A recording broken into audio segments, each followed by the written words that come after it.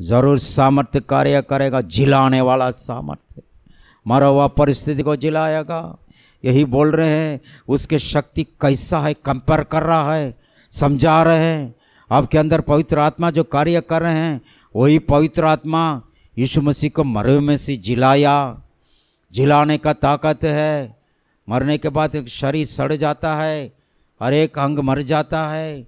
तीन दिन के बाद तो हाँ सब सब ना सब सड़ गया, मर गया। लेकिन पवित्र आत्मा आया। नया शरीर आत्मिक दुनिया में कार्य किया, जिलाया। जिलाने वाला ताकत है। वही रिजरक्शन पावर बोलते हैं पुनरुत्थान की ताकत है। पौलुस बोलते उस पुनरुत्थान की ताकत को मैं जानना चाहता हूँ।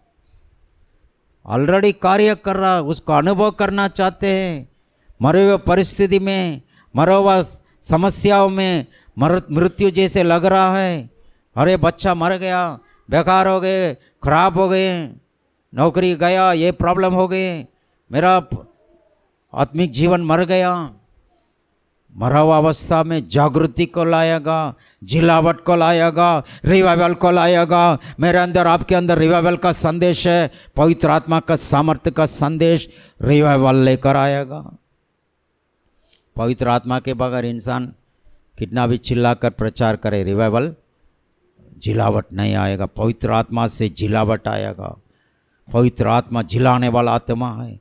मरे हुए परिस्थिति को देख करके दुखित होकर मत बैठो। पवित्र आत्मा आपके लिए आज़ादी दे रहा हूँ। आप कार्य करेंगे, नहीं जीवन को लेकर आएँगे। वचन के द्वारा कार्य करता है पवित्र आत्मा।